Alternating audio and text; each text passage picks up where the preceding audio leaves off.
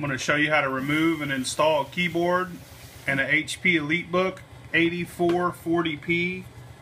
You want to close the lid, flip it over, turn it around.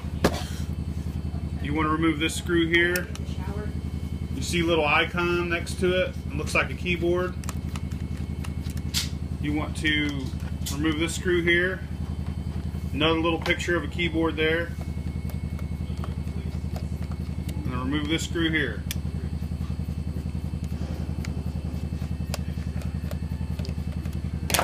And you want to flip it back over. Open the lid back up. You want to pull this tab down. All these little tabs. You want to pull them down. Once you do that, this keyboard should lift up and pull right out. Ooh, this thing's nasty.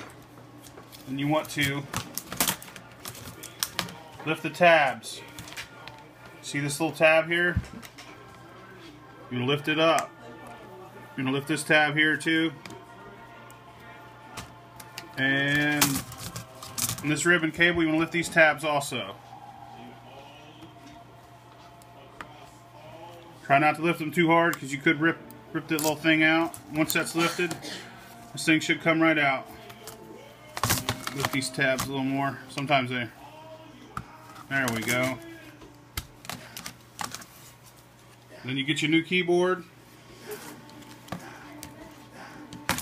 And lift these tabs.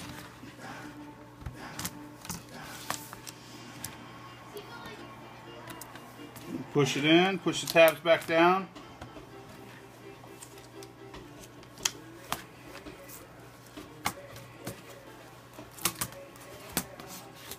This one's a little shorter so it could be rough.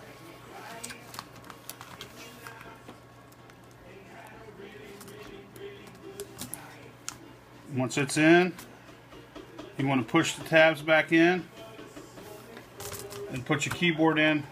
You want to push the front end like this, put it down, put your tabs up. I'm going to push them forward like that. Shut your lid. You want to screw your screws back in. They don't come out all the way. There's there's little uh, clips on the other side to hold them in so you don't lose them, which is which is pretty cool. Well, you ain't got to chase your screws around. Once you get them screwed in, your your keyboard's back in. You're good to go.